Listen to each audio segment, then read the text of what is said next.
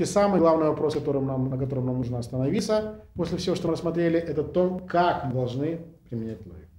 И опять же, мы, поскольку наша задача это не любые идеи э, переубеждать одних, потом переубеждать их обратно, а убеждать именно их в истинности учения Христова, то давайте посмотрим, как же сам Логос, сам источник этих законов логики, воплотившийся в Иисусе, применяет закон логики.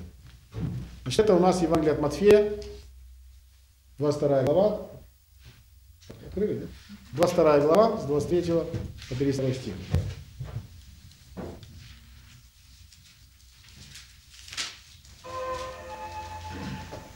Учитель, учитель, Моисей сказал, если кто умрет, не оставив детей, то будет брат его женится на вдове, и так продлит род брата своего. Были у нас семь братьев. Первый, женившись, умер, и, не имея детей, оставил жену своему. Но то же произошло со вторым, третьим и, наконец, седьмым. После всех умерла и женщина. Итак, в воскресенье, женой которого из семьи будет она. Заблуждаетесь ибо не знаете Писания, ни силы Божьей. В воскресенье не женятся и замуж не выходят. В воскресенье все равно, что ангелы Божьи на небесах. А что до воскресенья, то разве не читали вы Слово Божье, которое говорит, «Я Бог Авраам, и Бог Исаака, и Бог Якова». Бог не есть Бог мертвых, но живых. Итак, а, к Иисусу подходят книжники. Ну, правда, картина здесь, это картина изображающая более ранний период служения, это когда Иисус юноша, но Дюрер изображает э, на самом деле своих современников, докторов богословия, э, окруживших Иисуса и пытающихся доказывать свои идеи, доктрины и прочее. А, к Иисусу подходят садукеи, которые, как мы уже говорили, говорят, ну, были абсолютно уверены, что Иисус это их парень. Вот. Он так славно фарисеев гоняет. Вот если бы еще вот эта вот мелочь, что он верит в воскресенье, вот, ему помочь от нее избавиться. И тогда вот все, кто идут за ним, это наши люди, он будет нашим вождем, и у нас будет спокойный порядок. Вот, они подходят, говорят, учитель, задачка. Есть задачка для учеников 8 класса. Значит, э, семеро имели ее женой. Первая предпосылка. Вторая предпосылка – все воскреснут. Какой вывод? То есть в воскресенье тогда получаешь, что одна будет жена всем семерым сразу.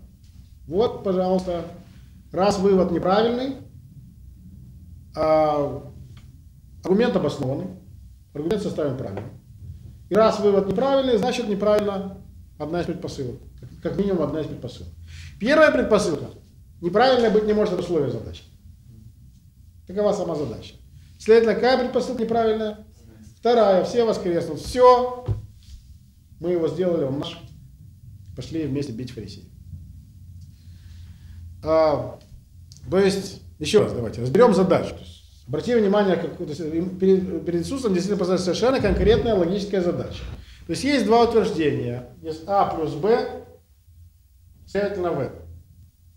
Мы знаем, что В ложь.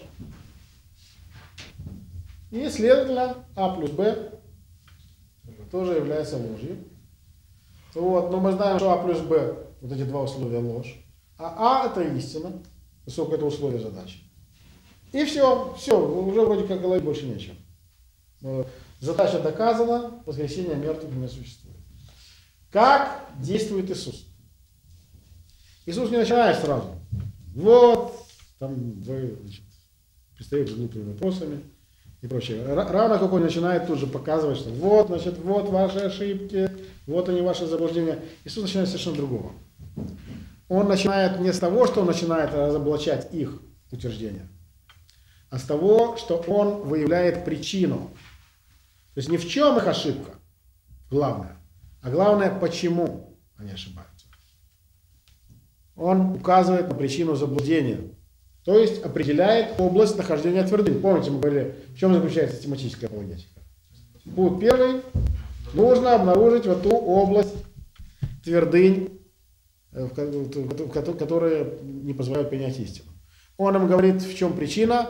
Заблуждаетесь. Почему? Потому что не знаете ни Писания, ни силы Божьей. Вот причина. Следующее, что он делает, это он показывает, где же их ошибка. То есть, собственно, сокрушает эту твердыню. Итак, семеро имели ее женой. Первая предпосылка. Вторая предпосылка, что все воскреснут. Э, вывод неправильный, значит неправильно одна из предпосылок.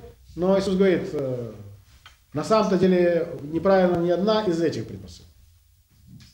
Но дело в том, что вы, э, есть еще предпосылка, которую вы просто не произносите, вы ее принимаете как само собой разумеющееся.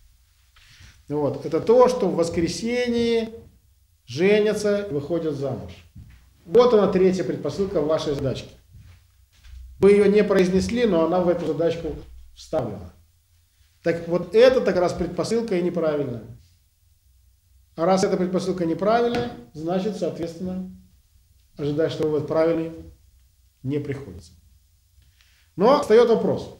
Хорошо, Иисус доказал. Знаете, я смотрю на эту ситуацию, ну вот я вот так бы разгромил оппонента и сказал, ну все, значит, мы победили, значит, э, я доказал, что они не правы.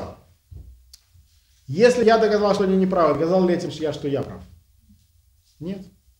То есть, указав на неправоту утверждений Садукеев, Иисус тем самым не доказал, что он прав он делает следующий шаг. Тот шаг, который очень часто мы а, не делаем. Он переходит на, поле, на поле оппонента и утверждает истину, уже играя по их правилам.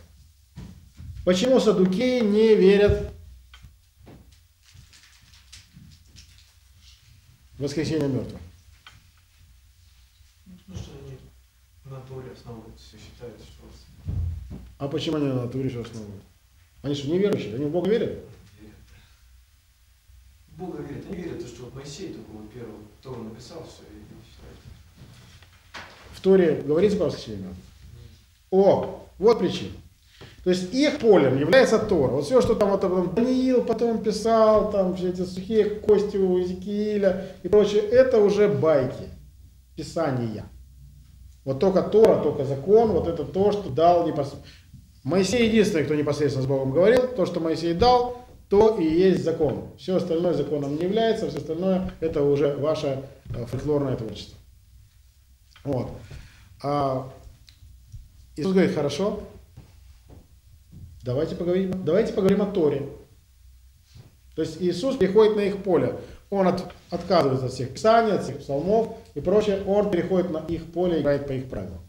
Итак, в Торе сказано, причем сказано не Моисеем. Что такое Моисей? Да. Ну да, Моисей, Моисей с Моисеем Богом, а Моисей человек. А сказано самим Богом, то есть ваш Моисей отдыхает. Сам Бог сказал, я есть Бог Авраама, и Бог Исаака, и Бог Иакова. А Бог является Богом живых, а не Богом мертвых. Ну вот вам задачка. Бог Авраама, Бог Исаака, Бог Иакова и Бог живых и мертвых, но живых. Вывод какой? Что для Бога они живы. Значит, что нам это говорит о воскресении мертвых? Значит, существует воскресенье. То есть он, он их громит на их же поле, по их же правилам. Он разгромил их с точки зрения, он показал их ошибочность сначала, но этого недостаточно он утверждает истинность своего учения на основании их же собственных убеждений. Он находит в их убеждениях вот этого неведомого Бога, в их убеждениях тоже правильно, и не, про, не их мнение гранит собственным мнением, а их неверное мнение при помощи их же собственного верного мнения. А против собственного мнения, да, не попрешь. Вот. Таким образом, Иисус а, делает, вот, выполняет то, что мы с вами, собственно, и назвали систематической апологетикой. Понравилась лекция? Вдохновились услышанным? Поддержите нас молитвой и финансами. О чем молиться и как пожертвовать вы можете узнать на сайте www.tvseminary.ru